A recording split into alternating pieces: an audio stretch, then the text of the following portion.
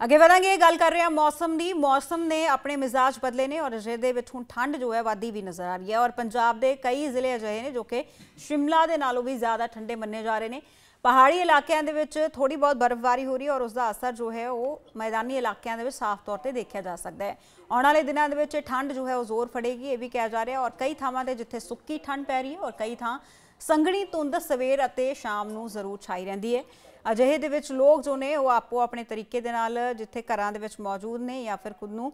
ਗਰਮਾਹਟ ਮਹਿਸੂਸ ਕਰਵਾਉਂਦੇ ਨਜ਼ਰ ਆ ਰਹੇ ਨੇ, ਚਾਹੇ ਅੱਗ ਦਾ ਸਹਾਰਾ ਲੈਂਦੇ ਹੋਣ ਜਾਂ ਫਿਰ ਹੋਰ ਤਰਲ ਪਦਾਰਥਾਂ ਦਾ, ਸੋ ਉਹ ਨਜ਼ਰ ਆ ਰਹੇ ਨੇ। ਫੌਗਲੈਂਡ ਤੋਂ ਇੱਕ ਇੱਕ ਤਸਵੀਰ ਅਸੀਂ ਤੁਹਾਡੇ ਤੱਕ ਪਹੁੰਚਾ ਰਹੇ ਹਾਂ। ਡੇਲੀ ਪੋਸਟ ਪੰਜਾਬ ਰਣਾ ਹਿਮਾਚਲ ਤੇ ਤੁਸੀਂ ਸਾਡੇ ਨਾਲ ਜੁੜ ਸਕਦੇ ਹੋ ਔਰ ਖਾਸ ਤੌਰ ਤੇ ਇਸ ਮੁਹਿੰਮ ਦਾ ਹਿੱਸਾ ਵੀ ਬਣ ਸਕਦੇ ਹੋ। ਤੁਹਾਡੇ ਇਲਾਕੇ ਦਾ ਕੀ ਕੋਈ ਸੂਰਤ-ਹਾਲ ਹੈ?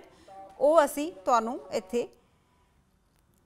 ਦਰਸਾਉਣ ਦੀ ਗੱਲ ਕਰ ਰਹੇ ਔਰ ਗੌਤਮ ਕੁਮਾਰ ਮੇਰੇ ਸਹਿਯੋਗੀ ਬਠਿੰਡਾ ਤੋਂ ਸਾਡੇ ਜੁੜ ਚੁੱਕੇ ਨੇ, ਰੁਕ ਕਰ ਲੈਂਦੇ ਹਾਂ। ਜੀ, ਗੌਤਮ, ਬਠਿੰਡਾ ਦੇ ਵਿੱਚ ਕਿਸ ਤਰ੍ਹਾਂ ਦਾ ਮੌਸਮ ਇਸ ਮੌਕੇ ਨਜ਼ਰ ਆ ਰਿਹਾ ਹੈ? ਖਾਸ ਤੌਰ ਤੇ ਤਾਪਮਾਨ ਜੋ ਹੈ ਉਹ ਕਿੰਨਾ ਦਰਜ ਕੀਤਾ ਜਾ ਰਿਹਾ ਹੈ? ਦੇਖੋ ਬਠਿੰਡਾ ਦੇ ਵਿੱਚ ਇਸ ਮਨ ਇਸ ਵਕਤ ਜਿਹੜਾ ਘੱਟ ਤੋਂ ਘੱਟ ਤਾਪਮਾਨ ਜਿਹੜਾ ਹੈਗਾ, ਉਹ 6 ਤੋਂ 7 ਡਿਗਰੀ ਦੇ ਵਿੱਚ ਵੇਖਿਆ ਜਾ ਰਿਹਾ ਤੇ ਇਸ ਤੋਂ ਇਲਾਵਾ ਜਿਹੜਾ ਵੱਧ ਤੋਂ ਵੱਧ ਤਾਪਮਾਨ ਜਿਹੜਾ ਹੈ, ਉਹ ਘੱਟ ਤੋਂ ਘੱਟ ਵੱਧ ਤੋਂ ਵੱਧ ਜਿਹੜਾ ਤਾਪਮਾਨ ਉਹ 21 ਡਿਗਰੀ ਵੇਖਿਆ ਜਾ ਰਿਹਾ ਇਸ ਦੇ ਵਿਚਾਲੇ ਜੇ ਅਸੀਂ ਗੱਲ ਕਰੀਏ ਤਾਂ ਬਠਿੰਡਾ ਸ਼ਹਿਰੀ ਇਲਾਕੇ ਦੇ ਵਿੱਚ ਜਾਂ ਬਠਿੰਡਾ ਦੇ ਨੇੜਲੇ ਇਲਾਕੇ ਦੇ ਵਿੱਚ ਜਿਹੜਾ ਤਾਪਮਾਨ ਹੈ, ਉਹ ਪਿਛਲੀ ਵਾਰ ਦੇ, ਪਿਛਲੇ ਸਾਲ ਦੇ ਸਮੇਂ ਦੇ ਵਿੱਚੋਂ ਇਸ ਵਾਰ ਠ- ਠੰਡ ਜਿਹੜੀ ਹੈਗੀ ਆ ਜਾਂ ਧੁੰਦ ਜਿਹੜੀ ਹੈ, ਉਹ ਬਹੁਤ ਜ਼ਿਆਦਾ ਘੱਟ ਵੇਖਣ ਨੂੰ ਮਿਲ ਰਹੀ ਹੈ। ਕਿਉਂਕਿ ਇਸ ਇਹਨਾਂ ਦਿਨਾਂ ਦੇ ਵਿੱਚ ਪਿਛਲੇ ਸਾਲ ਤੇ ਬਹੁਤ ਜ਼ਿਆਦਾ ਸੰਘਣੀ ਧੁੰਦ ਸੀਗੀ, ਪਰ ਇਸ ਸਮੇਂ ਵਕਤ ਜਿਹੜੀ ਧੁੰਦ ਤੁਸੀਂ ਮੇਰੇ ਪਿੱਛੇ ਵੀ ਵੇਖ ਸਕਦੇ ਹੋ, ਬਹੁਤ ਘੱਟ ਧੁੰਦ ਵੇਖਣ ਨੂੰ ਮਿਲ ਰਹੀ ਹੈ। ਤੇ ਇਹ ਜਿਹੜੀ ਕਿਤੇ ਨਾ ਕਿਤੇ ਠੰਡ ਤੋਂ ਰਾਹਤ ਜ਼ਰੂਰ ਹੈ, ਕਿਉਂਕਿ ਜਿਹੜਾ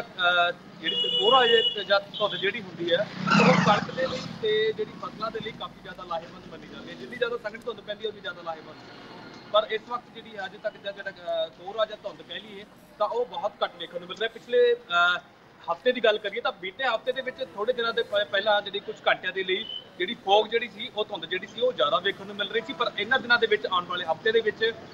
ਇਹ ਜਿਹੜਾ ਮੌਸਮ ਜਿਹੜਾ ਹੈਗਾ ਉਹ ਘੱਟ ਤੋਂ ਘੱਟ 7 ਡਿਗਰੀ ਦੇ ਦੇਖਿਆ ਜਾਏਗਾ ਤੇ ਇਸ ਤੋਂ ਇਲਾਵਾ ਜਿਹੜੀ ਧੁੰਦ ਹੈ ਉਹ ਵੀ ਇਸੇ ਤਰੀਕੇ ਦੇ ਨਾਲ ਬਰਕਰਾਰ ਰਹਿਣ ਵਾਲੀ ਹੈ ਕਿਉਂਕਿ ਘੱਟ ਧੁੰਦ ਜਿਹੜੀ ਹੈ ਉਹ ਵੇਖੀ ਜਾ ਰਹੀ ਹੈ ਜੀ। ਇਸ ਦੇ ਵਿਚਾਲੇ ਜਿਹੜਾ ਬਠਿੰਡਾ ਦੇ ਨੇੜਲੇ ਇਲਾਕੇ ਦੇ ਵਿੱਚ ਖੁਸ਼ਕ ਮੌਸਮ ਹੈ ਹਵਾ ਦਾ ਜਿਹੜਾ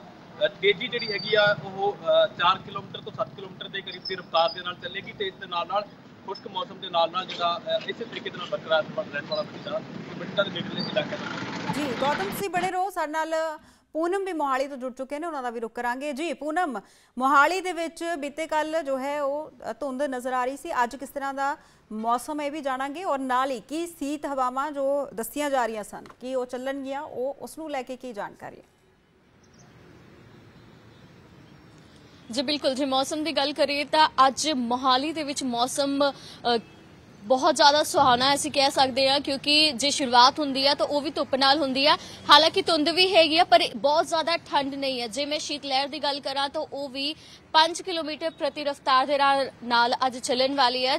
ਜੇ ਅਸੀਂ ਪੂਰਾ ਮੌਸਮ ਦੀ ਗੱਲ ਕਰੀਏ, ਅੱਜ ਦੇ ਦਿਨ ਦੀ ਗੱਲ ਕਰੀਏ, ਤਾਂ ਬਹੁਤ ਜ਼ਿਆਦਾ ਠੰਡ ਨਹੀਂ ਹੋਵੇਗੀ ਕਿਉਂਕਿ ਧੁੱਪ ਵੀ ਨਾਲ ਹੈ ਤੇ ਹਾਂ, ਇੱਕ ਹੋ ਸਕਦਾ ਕਿ ਸ਼ੀਤ ਲਹਿਰ ਦੇ ਕਾਰਨ ਠੰਡ ਟੈਂਪਰੇਚਰ ਵਿੱਚ ਥੋੜਾ ਵਾਧਾ ਹੋ ਸਕਦਾ, ਪਰ ਜੇ ਟੈਂਪਰੇਚਰ ਮਿਨੀਮਮ ਦੀ ਗੱਲ ਕਰੀਏ ਤਾਂ ਉਹ ਵੀ 9 ਡਿਗਰੀ ਸੈਲਸੀਅਸ ਰਹਿਣ ਵਾਲਾ ਹੈ ਤੇ ਵੱਧ ਤੋਂ ਵੱਧ ਇਹ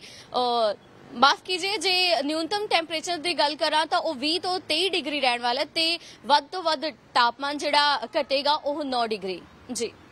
ਬਿਲਕੁਲ, ਪੂਨਮ, ਲੋਕਾਂ ਦੀ ਜੇਕਰ ਗੱਲ ਕੀਤੀ ਜਾਏ, ਜਿਸ ਤਰ੍ਹਾਂ ਤੁਸੀਂ ਦੱਸਿਆ ਕਿ ਮੌਸਮ ਜੋ ਹੈ ਉਹ ਸੁਹਾਵਣਾ ਹੈ ਯਾਨੀ ਜਨਜੀਵਨ ਜਿੱਥੇ ਠੰਡ ਦੇ ਚਲਦੇ ਪ੍ਰਭਾਵਿਤ ਹੁੰਦਾ ਹੈ ਜਾਂ ਅੱਜ ਜੋ ਹੈ ਉਹ ਲੋਕ ਇਸ ਮੌਸਮ ਦਾ ਆਨੰਦ ਮਾਣ ਰਹੇ ਨੇ? ਜੀ ਬਿਲਕੁਲ